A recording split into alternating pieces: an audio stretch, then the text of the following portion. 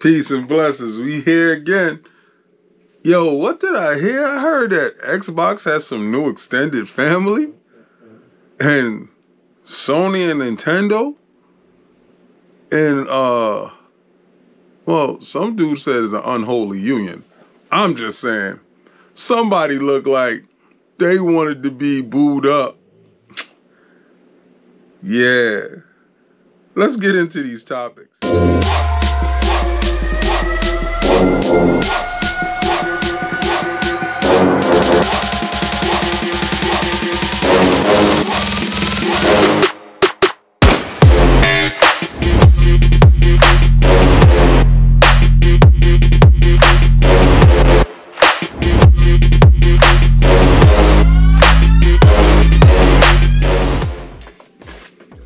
Peace. Xbox Frontline News back here again. Yo, um, this Famitsu information is turning out to be something more incredible than anybody can ever imagine. Yo, y'all remember when Xbox was telling you stuff like, uh, well, Phil was telling you, Phil Dominus Maximus Aurelius Spencer was telling y'all that you know, PlayStation and Nintendo, they they not competition. They, he don't look at them as competition. And people was like, King, they the market leaders. What are you talking about? Of course they competition. And I'm like, nah, you talking about billion dollar companies versus a trillion dollar companies. You know, bottom line speaks. So the fact of the matter is the Famitsu interview with Phil has been more revealing than y'all thought. Like, remember when Phil said he wanted to reach 8 billion users? And dudes is like, you can't even get past 50 million. What are you talking about 8 billion? Right? So then you saw the PC strategy and he was like, uh oh. But that that's, you know, PlayStation dudes, king. That still ain't, you know, 8 billion. Then you saw the TV deals with Samsung and LG. That's still that's that's still ain't that still ain't uh, uh, a billion. Then you saw Game Pass moving and shaking. That's that's that's still not that's you know that's still not a billion. You heard people yelling out, "Yo, Xbox needs VR." Then you saw Oculus come out with their VR, the Oculus 3. You know, shout out to Facebook. And um, what's in the box? What's launching? Game Pass. Hmm. So how many million is over there will have access to Game Pass? And then how many million is over here has access to Game Pass? And then one of the things that was brought up in the interview was the fact that Microsoft didn't have to worry about a handheld because it had this.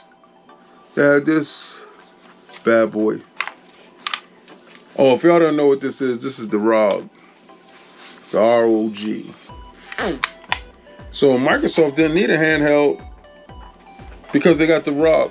Most powerful handheld going right now. I mean, you have a couple out there but the ROG is the most notable. The Oxus. Asus. So you, you you're thinking you had the Nintendo dudes was like, nah, that's not our market though. That's not it. And then you saw the deals given out. Phil started giving out the deals. 10 year contract for Call of Duty. We know the Switch can't run it. Then the Switch in this interview gets brought up. Gets brought up. This guy here gets brought up. And he says, you know, he considers Nintendo and PlayStation part of the family. You ain't competition, you his son Dula. You junior. You son son. Part of the family. Y'all eat at the little table over there for Thanksgiving. Yeah. So now that everything is coming out, Will there be a Game Pass on uh, PlayStation? Probably so. Will that uh, ingratiate them to their fan base? Probably so. Is this stuff that we're learning and knowing right now? You betcha. Right now, Microsoft is moving and they're positioning. Y'all was playing checkers while these dudes was playing chess. They was putting positions all over the place. I see right now, I see uh, Little Caesars with um, Call of Duty uh, uh, branding on the box. I see McDonald's and Burger King and everybody with Brandon on the box. Taco Bell's, everybody has got Call of Duty. PlayStation is selling a bundle right now with Call of Duty in the box. Those get counted. Those are sales that goes to Microsoft. Those are customers. Those are Xbox customers. The ROG, they consider that they handheld. He goes with it wherever he goes. So, I want you dudes to comment at the bottom.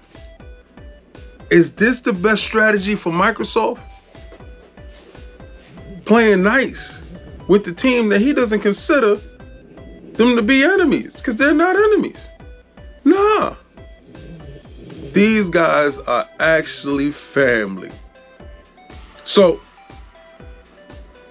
from me to you, I want to welcome all the PlayStation dudes, all the Nintendo dudes to the Xbox family. Y'all extended cousins, Sundolas, juniors. I told you, this generation is going to be different. There's different leadership. We're not fumbling the bag on this one. So, sit down, get comfortable, because you're part of Xbox now. Yo, please, everybody, Go out and buy Call of Duty. Let's have some fun doing this. This is fantastic. I want to know what y'all think about this. Please leave some comments.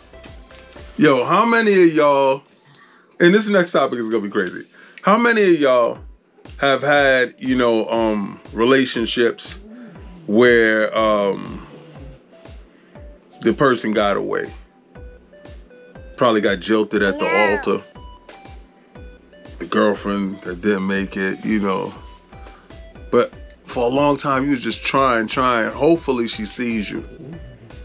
That reminds me of Sony. You know, because Nintendo and Sony was, was supposed to do uh, the Nintendo PlayStation. It was supposed to happen. And they were supposed to do the disc drive for the PlayStation, I mean, for the Nintendo. And uh, Nintendo went with Philips CDI. They didn't like the terms or the arrangement that Sony was uh, bringing to the table. So like they just left them out there like that, and Sony didn't find out till that day, and it was better the whole time. Like you know, doing all things, turning up on them, woo woo woo, turning up on them every time. You know, trying to get Nintendo out the game, trying to show them that you you made a mistake. I'm the one. And you know, for a long period of time, you know, Sony they they they were rocking, but they never seen that you know overtake Nintendo. I mean, PlayStation in its heyday was definitely something to be reckoned with, but they never really overtook them. And you know, Nintendo's branching off into movies. Sony does movies. So shout out to Miyamoto, the creator of Mario, Zelda, and a lot of our beloved Nintendo franchises. Shout out to him for putting out a tweet talking about they're in uh, I think it was Avi Arad that uh, he wants to have him direct um, his uh, Zelda movie. And lo and behold, who's supposed to do distribution for the theatrical release? Sony. Sony stepped up, was like, I'll do, I'll do it, I'll do it. Always the bridesmaid, never the bride. And I heard about it, and I'm like, wow, Sony's Sony's gonna do this. Um, And I'm not kind of weirded out like a lot of these dudes. Or I saw dudes like, oh, I don't want that out of. I don't. I don't really don't care. Movie distribution, theatrical releases, that, that stuff is very good. Sony is very good at it. Why, if you, if, if, why not? If you have a pipeline to uh, distribute movies, why not go with one of the leading uh, people in the field? And I, I, think Gran Turismo did pretty well inside the movie theaters. Um, Sony Sony has been doing uh pretty decent. So why not? I'm not I'm not as bugged out on it as a lot of people are, but I've seen people talking about look at this, look at that. You know, I make jokes that Sony is trying by any means necessary to make sure that they get ingratiated with Nintendo. And yep, yep, yep, they're trying something. Does this lead to anything? I don't think it leads to anything other than this movie. But a live action Zelda movie, a live action Zelda, is it going to be based on Breath of the Wild stuff? Because we just saw the Mario movie. And I'm to tell you, man, if, if you didn't see the Mario movie, please go see the Mario movie. It is probably one of the best movies about video games ever all the little hallmarks, all the little tropes, everything about Mario was there. And um, Luigi and Bowser and Princess Peach and Donkey Kong. Yeah, I watched that movie like four times already. So I'm I'm praying for Nintendo to bring that same level of quality to the whole to, to the to the big screen. Again, because I seen, I know they got the this level of success. I know they did, and and have the person that did Maze Runner uh, uh, to to direct it. Oh my god! And I believe uh, he did like what was it? The the Planet of the Apes trilogy, uh, the new one. Yo, super lit, live action. So they're taking it away from the animation and, they, and they're going for it. Man, we are truly living in the times in which we dreamt of as kids. That little Zelda. Who would have thought that little golden cartridge would bring us to where we at? But this is Xbox Frontline News with the King. Until next time, try to play with the Game Pass. Yep. Peace.